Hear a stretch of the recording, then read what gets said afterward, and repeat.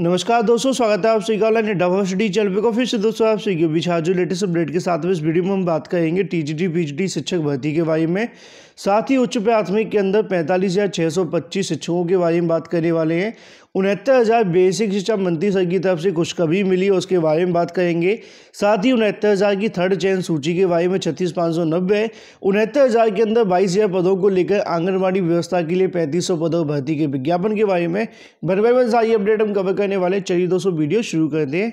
Learning platform अन academy लेकर आया best of CDP for C T नौ जनवरी से लेकर ग्यारह जनवरी फ्री ऑन अनकेडमी मतलब कि बिल्कुल फ्री क्लासेस जो कि नौ तारीख से लेकर ग्यारह तारीख के बीच में आपको मिलेंगी। अगर आप टेट सीटेट की प्रिपरेशन कर रहे हैं तो बेस्ट क्लासेस को ज्वाइन करना बिल्कुल ना भूलें सीडीपी के लिए, जो कि इंडिया के टॉप एजुकेटर से मिलेंगे। ज़्यादा जानकारी के लिए लिंक वीडियो के डिस्क्रिप्शन में है। अनकेडमी लर्निंग ऐप डाउनलोड करके आज टी कोड इस्तेमाल करें, जो कि मिलेगा बिल्कुल आपको फ्री अगर आप यूपीटेट की प्रिपरेशन करें तो अकेडमी आपके लिए लेकर आया target UPTET 2021 the complete batch course start हुआ आठ जनवरी से. ज्वाइन करने के लिए लिंक वीडियो की डिस्क्रिप्शन में है. सभी बैच को एक्सेस कर सकते हैं एक ही सब्सक्रिप्शन के साथ. आज ही डाउनलोड करें अकेडमी लेने के आई जी कोड इस्तेमाल करना बिल्कुल ना भूलें. ज़्यादा जानकारी की लिंक वीडियो की डिस्क्रिप्शन में है. साथ ही अकेडमी पर मेरा रेफरल कोड यूज़ करना बिल्कुल ना भूलें. इससे आपको free live classes test series साथ ही जो क्विजेस है वो बिल्कुल फ्री मिलेंगी. और अगर आप प्लस सब्सक्रिप्शन लेते हैं तो वहाँ पे आपको मिलेगा टेन परसेंट का इंस्टेंट डिस्काउंट आज आज ही टी कोड के साथ. अन अकेडमी प्लस में आपको मिलेंगे बहुत सारे फीचर्स घर से बैठकर लाइव पढ़ सकते हैं अनलिमिटेड एक्सेस कर सकते हैं सभी कोर्सेज पर। प्रैक्टिस टेस्ट अटेम्प्ट करने का मौका मिलेगा, सभी बैच को एक्सेस कर सकते हैं मेंटरशिप एंड गाइडेंस भी मिलेगी। एग्जॉस्टिव कवरेज होगी सभी सिलेबस पर रेगुलर डाउट क्लियरिंग सेशन भी होगा। साथ ही लाइव टेस्ट अटेम्प्ट करने का मौका मिलेगा लाइव टेस्ट सीरीज़ भी होगी। स्टडी मटेरियल भी मिलेगा पीडीएफ फॉर्मेट में। ज़्यादा जानकारी के लिंक वीडियो की डिस्क्रिप्शन में है।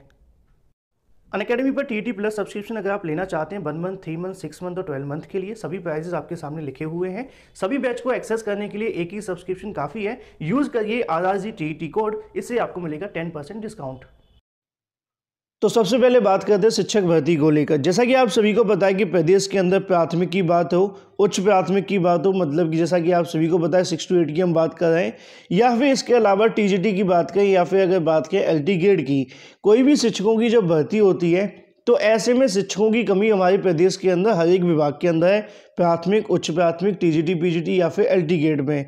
लेकिन जैसा कि आप सभी को है कि जब तक यहाँ पे शिक्षकों की कमी रहती है तो छात्रों की संख्या और कम हो जाती है। और जब यहाँ पे शिक्षक चुन कर के आते हैं, उन भर्तियों में काफ़ी लंबा समय लगता है। तो ऐसे में यहाँ पर छात्रों की संख्या और कम होती जाती है और इसी प्रकार यहाँ पर शिक्षकों की संख्या और भी कम होती जाती है। मतलब ये है कि शिक्षकों का जो अनुपात होगा, वो छात्रों के अनुपात के आधार पर ही लिया जाता है। जैसे जैसे यहाँ पे छात्र कम होते जाएँगे, उतनी डिमांड शिक्षकों की कम हो जाती है। लेकिन सच ये है कि शिक्षकों की कमी होने की वजह से छात्रों की संख्या और ज़्यादा कम हो जाती है। नहीं समझे, मैं समझाना चाहूँगा आप सभी को यहाँ पे उच्च प्राथमिक के बारे लेकिन उससे पहले मैं आप सभी को बता दूँ, जैसा कि आप सभी को है कि टी जी की भर्ती काफ़ी लंबे समय से लंबित है। जैसा कि आप सभी को मैंने बताया कि शिक्षकों की कमी है, ये भर्ती 2016 में निकाली गई थी, उसी क्रम में 735 पदों का परिणाम घोषित हो गया है। बड़ी अच्छी खुशखबरी देखने के लिए मिल रही कि चयन बोर्ड के माध्यम से पहले 2020 के अंतिम दिन पे आप सभी के सामने यहाँ पे परिणाम घोषित हुआ, अंग्रेज़ी विज्ञान का। उसी के साथ में यहाँ पे संस्कृत का ही परिणाम घोषित हो गया है। तो ऐसे में उम्मीद की जा सकती है कि नई भर्ती का ही विज्ञापन जल्द जारी होगा। लेकिन जैसा कि कल मैंने आप सभी को आकर के बताया कि यहाँ पर अध्यक्ष के माध्यम से जानकारी निकली है, वो यहाँ पर कहीं ना कहीं स्पष्ट शब्दों में जानकारी नहीं दी गई है कि कब तक विज्ञापन जारी किया जाएगा और कब तक आने की संभावना उनका कहना है कि तीसरे हफ़्ते के अंदर T G T P G T दो हज़ार बीस का विज्ञापन आ सकता है। लेकिन ऐसे में पुराने परिणाम घोषित किए जा रहे हैं तो उम्मीद की जा सकती है कि आगामी समय के अंदर चैन बोर्ड सुधरेगा, लेकिन ये चार साल बाद भर्ती पूरी हो रही है।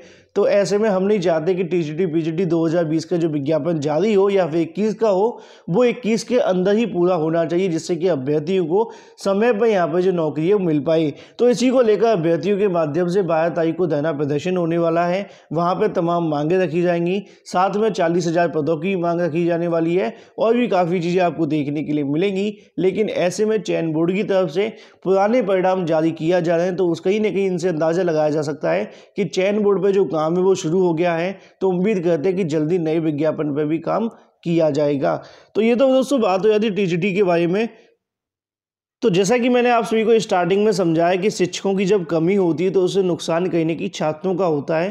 और जितने छात्र होते हैं उससे भी कम होते जाते हैं। जैसे कि एग्ज़ाम्पल के तौर पे मान लो कि यहाँ पे दो शिक्षक चाहिए, अब पढ़ाने वाला एक ही शिक्षक है, किसी दिन वो भी छुट्टी पे है तो ऐसे में पचास छात्र होंगे या फिर साठ होंगे, जितने भी होंगे, उनके लिए और भी ज़्यादा समस्याएँ बनेंगी। तो वहाँ पे वो किस प्रकार पढ़ेंगे? इन्हीं तमाम चीज़ों को ध्यान में रखा जाता है। टीजीटी की चार साल से भर्ती लटकी हुई है। और ऐसी उनहत्तर हज़ार, दो साल लटकी एच डी के ढाई साल। तो ऐसे में यहाँ पे भी आप सभी के सामने आएगा, बेसिक शिक्षा परिषद की अगर बात करें, पैंतालीस हज़ार छः सौ पच्चीस स्कूलों में हज़ारों हज़ारों विषयों के अंदर शिक्षकों की कमी है। उसी क्रम में अगर बात करें सूबे के अस्सी फ़ीसदी उच्च प्राथमिक विद्यालयों में शिक्षकों की कमी है। नीचे आप सभी को देखने के लिए मिलेगा उनतीस या तीन सौ चौंतीस शिक्षकों के बाद भी नहीं हुई सीधी भर्ती, जैसा कि आप सभी को बताएँ कि उनतीस हज़ार भर्ती दो हज़ार तेरह में शुरू हुई थी। अभी तक पूरी नहीं हो पाई है। सुप्रीम कोर्ट में मामला लंबित है। कब तक पूरा होगा, किसी को नहीं पता। परिषदीय प्राथमिक स्कूलों के अंदर सहायक अध्यापकों को प्रमोशन होना चाहिए। सालों से प्रमोशन नहीं होने के कारण उच्च प्राथमिक स्कूलों में शिक्षक नहीं बचे हैं। आरटीआई मानक के अनुसार पढ़ाई नहीं हो पा रही है। ऐसा यहाँ पे दीपक मिश्रा का भी कहना है, एक जुलाई 2009 को नियुक्त प्रमोशन से वंचित शिक्षकों की जानकारी दी गई थी। तो उसी क्रम में यहाँ पे भी आप सभी के सामने आ जाता है कि 10 साल बाद भी परिषदीय उच्च प्राथमिक विद्यालयों में शिक्षकों की कमी बनी हुई है। प्रदेश सरकार की ओर से शिक्षा मंत्रालय की प्रोजेक्ट अप्रूवल बोर्ड की बैठक की लिए शैक्षिक और साथ ही बात करें, दो हज़ार को भेजी गई रिपोर्ट में कहा गया कि पैंतालीस या छः सौ पच्चीस उच्च प्राथमिक विद्यालयों में अस्सी फ़ीसदी ऐसे विषय हैं, जैसा कि नीचे देखने के लिए मिले, गणित विज्ञान, साथ में सामाजिक विज्ञान के शिक्षक ही नहीं है जबकि यूपी में जुलाई 2011 को लागू किया गया आरटी एक्ट के अनुसार, प्रत्येक उच्च प्राथमिक विद्यालय में अनिवार्य रूप से इन तीन विषयों के शिक्षक होने चाहिए, लेकिन यहाँ पर तो तीनों विषयों के शिक्षक ही नहीं है। अस्सी फ़ीसदी आप अंदाज़ा लगा सकते हैं कितनी बड़ी संख्या के अंदर यहाँ पे शिक्षकों के जो पद है वो खाली हैं, लेकिन कहीं ना कहीं ना तो भर्तियाँ देखने के लिए मिलती, ना प्रमोशन के माध्यम से पद भरे जाते हैं। उसी क्रम में अगर बात करें, उनतीस हज़ार भर्ती को लेकर, वो भी काफ़ी लंबे समय से लटकी हुई है, पूरी होती हुई दिखाई नहीं दे रही है। एक भर्ती है बारह हज़ार चार सौ साठ, उसके बारे में अभ्यर्थी पूछना सर, क्या हुआ? ये भी मामला सुप्रीम कोर्ट के अंदर लगा हुआ है, और जब तक इन मुद्दों पर सुनवाई नहीं हो जाती, तब तक ये मामला ऐसे ही लटके रहते हैं, क्योंकि पहले से भी यहाँ पर सुनवाई सुनवाई चल रही थी, लेकिन मामला क्लियर नहीं हो पाया। तो ऐसे में ये तो दोस्तों बात हो जाती है उच्च प्राथमिक के बारे में जिसके अंदर हज़ारों शिक्षकों के जो पद हैं वो खाली पड़े हुए हैं। ऐसे में उम्मीद करते हैं कि प्राथमिक की बात करें उच्च प्राथमिक की बात करें या फिर टीजीटी की हो, आगामी समय के अंदर सरकार को सही तरीके से अध्याचन लेकर बिल्कुल सटीक जानकारी निकालते हुए अभ्यर्थियों की यहाँ पे जो भर्ती निकाली जाए, जिससे कि कहीं ना कहीं अभ्यर्थियों को मौका मिले। प्राथमिक के अंदर भी इक्यावन पद खाली हैं, जो कि एक बहुत बड़ी संख्या होती है। तो उसी क्रम में यहाँ पर जानकारी आप सभी के सामने है। वहीं दूसरी तरफ़ बात करें उनहत्तर हज़ार शिक्षक भर्ती को लेकर। जिन्होंने अभी तक वीडियो को लाइक नहीं किया, वीडियो को लाइक अवश्य कर दें, साथ में शेयर भी कर दिया क्या और चैनल को सब्सक्राइब करना बिल्कुल ना भूलें। तो सबसे पहले बात करेंगे उनहत्तर हज़ार के बारे में, दो धरने प्रदर्शनों के बारे में, क्योंकि अभ्यर्थी बाद में कमेंट करके कहते हैं, सर, आपने हमारी बात नहीं बताई।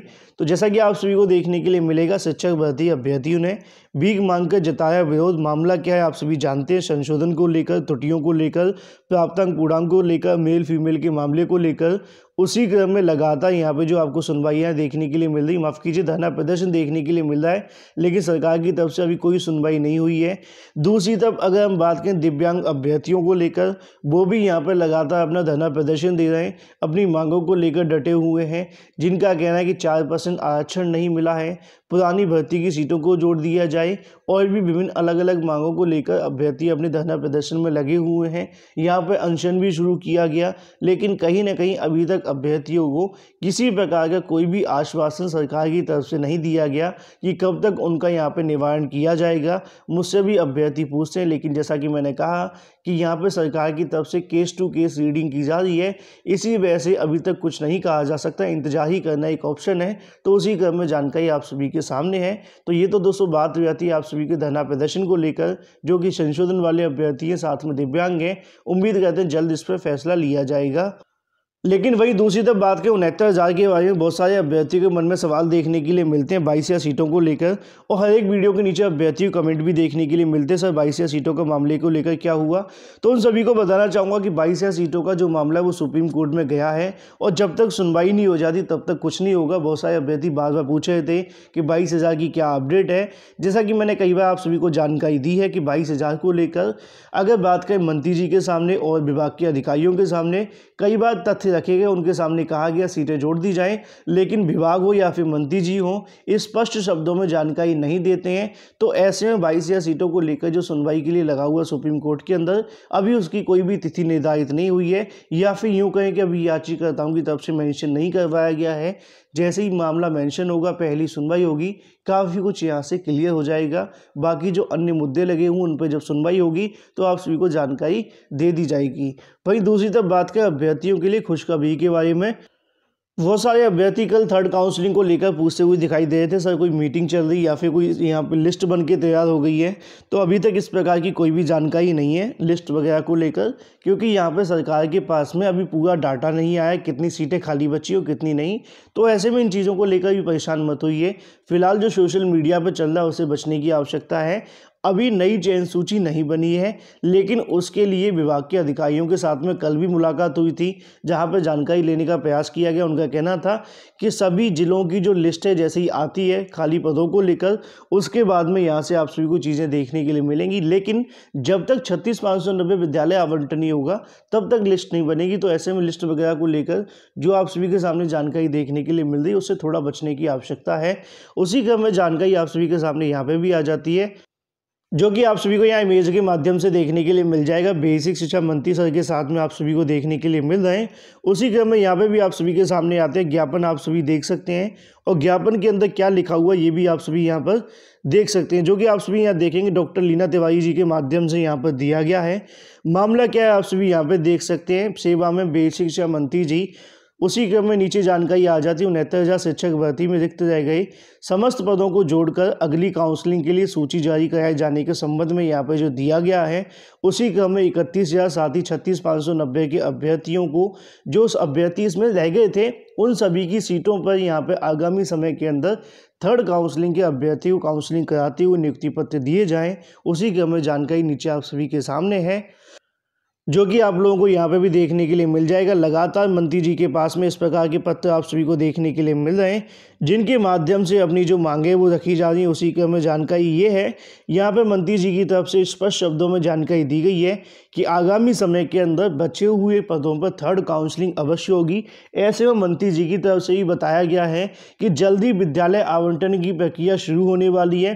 हाल ही में जो मीटिंग हुई है, उसके माध्यम से जानकारी निकली है कि छत्तीस पाँच सौ नब्बे शिक्षकों को जल्दी विद्यालय आवंटन होंगे। लेकिन उससे पहले संशोधन का फैसला होने के साथ ही विद्यालय आवंटन प्रक्रिया यहाँ से शुरू कर दी जाएगी। और जैसे ही विद्यालय आवंटन होते हैं, उसके कुछ दिनों के अंदर शासन के पास में शेष सीटों पर काउंसलिंग करवाने के लिए जल्दी जो प्रक्रिया है, वो शुरू होगी। ऐसी जानकारी बेसिक शिक्षा मंत्री जी की तरफ़ से दी गई है। मतलब स्पष्ट है कि आगामी समय के अंदर जल्दी आप लोगों को यहाँ से खुशखबरी मिलने वाली है, जो कि थर्ड काउंसलिंग से संबंधित है। साथ में जानकारी यहाँ पर यह भी दी गई कि जल्दी विद्यालय आवंटन की प्रक्रिया भी शुरू करवा दी जाएगी। बहुत सारे अभ्यर्थी कहते हैं कि सर, विद्यालय आवंटन को लेकर अभी तक कोई नोटिस जारी नहीं हो रहा है। तो उन सभी को बताना चाहूँगा, हाल ही में जो मीटिंग हुई है मीटिंग के बाद से कल मंत्री जी की तरफ़ से भी यहाँ पर जानकारी दी गई कि विद्यालय आवंटन प्रक्रिया को लेकर विभाग को दिशा निर्देश दिए गए हैं। जल्दी आगे की जो प्रक्रिया है वो शुरू होने वाली है। तो ऐसे में दोनों अभ्यर्थियों के लिए बड़ी खुशखबरी है। थोड़ा सा और पेशेंस रखिए, जो कि छत्तीस पाँच सौ नब्बे वाले हैं, जैसा कि आप लोग देख पा रहे हैं कि वेतन भी जारी होने शुरू हो गए। तो उम्मीद है कि जल्दी आप सभी का यहाँ से विद्यालय आवंटन होगा और उसके बाद में थर्ड काउंसलिंग भी शुरू करवा दी जाएगी। वही दूसरी तरफ़ बात करें प्रदेश के अंदर साढ़े तीन हज़ार क्लर्क साथ में सुपरवाइजर की भर्ती की वाई में आंगनबाड़ी की व्यवस्था सुनिश्चित करने के लिए जल्द ही तीन हज़ार से अधिक यहाँ पर सुपरवाइजरों की क्लर्क की भर्ती। उसी क्रम में नीचे जानकारी आ जाती है कि बाल विकास सेवा इसका अध्याचन अधीनस्थ सेवा चयन आयोग को भेजने जा रहा है मतलब यूपी डब्ल्यू को भेजा जाएगा। यह भर्तियाँ 2006 से लटकी हुई हैं। मुख्यमंत्री मिशन रोज़गार के तहत पंद्रह साल पुरानी भर्तियों को रास्ता साफ़ हो गया है। अगर बात करें दो हज़ार चार सौ बाईस सुपरवाइज़र, साथ में क्लर्क के लगभग एक हज़ार पदों पर, इनके लिए जो आवेदन दो हज़ार छः में लिए गए थे 2007 में सरकार बदलने की वजह से अधीन सेवा चयन आयोग भंग होने के कारण भर्तियाँ नहीं हो पाई। दोबारा 2011 के अंदर आवेदन लिए गए, लगभग यहाँ पे पौने दो लाख के आसपास अभ्यर्थी ने आवेदन किया। पहली बार में पौने दो लाख थे, उसके बाद में सवा तीन लाख हुए, लेकिन इस बीच सरकार की हिला हवाली और साथ में सरकार बदलने पर भी भर्ती आगे नहीं बढ़ी। तो ऐसे में आगामी समय के अंदर जानकारी है कि जल्द ही यहाँ पे पैंतीस पदों पर जो भर्ती है वो देखने के लिए मिलेगी। आंगनबाड़ी व्यवस्था को सुनिश्चित करने के लिए लगभग तीन हज़ार पदों पर जो भर्ती है वो आप सभी को देखने के लिए मिलेगी। यूपी ट्रिपल एस से अध्याचन यहाँ पे भेजे जाएँगे, उसके बाद में भर्ती का विज्ञापन भी जारी होगा। फ़िलहाल यहाँ से जो मंजूरी है, मिल चुकी है। जो भी जैसे भी अपडेट होगी, लगातार आप सभी ऑनलाइन डाफर्सली चैनल के माध्यम से मिलती रहेगी। फ़िलहाल वीडियो के माध्यम से इतना ही। Thank you thank you for watching this video